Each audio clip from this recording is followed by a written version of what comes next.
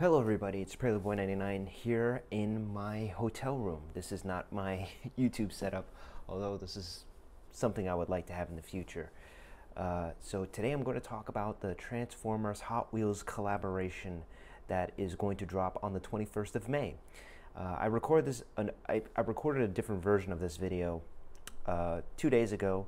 I didn't edit it. It's um, in my memory card somewhere and uh, I wanted to post a video before the sale because I really want to influence or start some sort of discussion about the Transformers and Hot Wheels collaboration. Now, this is a collaboration I've waited all my life for. I love Transformers and I love Hot Wheels. I'm a huge, huge Transformers fan. I've collected the comic books, I collected the action figures. Um, I sold the action figures because I decided to move on to other ventures, but I've been thinking about getting back into collecting Transformers, and now Transformers is having this 40th anniversary, and they're really pulling out all the stops with um, new toys, um, nostalgia-based toys from the 80s, and now collaborating with Hot Wheels.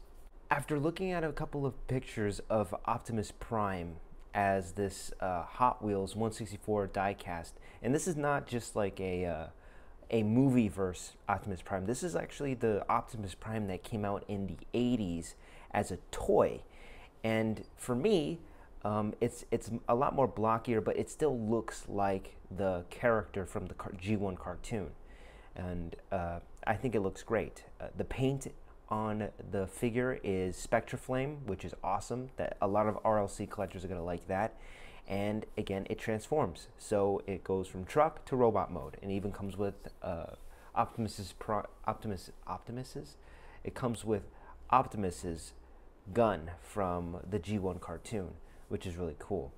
The one thing that bothers me the most is the price. I do not like the price. $80 to me is a lot of money for a 164 scale vehicle. That's more than the the Arsham collab that Hot Wheels did a while back. So is this worth $80? Well, it depends on who you're asking. Money. Uh, it all depends on where you stand. If you're a huge Transformers fan, or if you're a huge Hot Wheels fan, or if you're a huge fan of both fandoms. I've spent a lot of money on RLC, so I may not even buy it. I am debating on it, but essentially this video is just to start a conversation as to whether or not this is worth it. And again, it all depends on where you stand. $80 for a 164 scaled auto transforming Hot Wheels is a little steep for me. I would rather pay 50. Uh, in my eyes, I see it worth as 50. But again, it all depends on where you lie with Transformers X Hot Wheels. I don't know if any of the other collaborations are going to happen soon, if we're going to get more Hot Wheels Transformers collab, like maybe a Megatron or a Starscream or even a Bumblebee, but $80 for Optimus Prime. That's that's a little steep, especially when you can get a studio a studio series Optimus Prime for 40 or 30.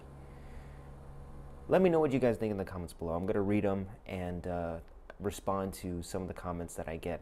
I really do like reading the feedback that I get, and it gives me an idea as to what the community is thinking as a whole.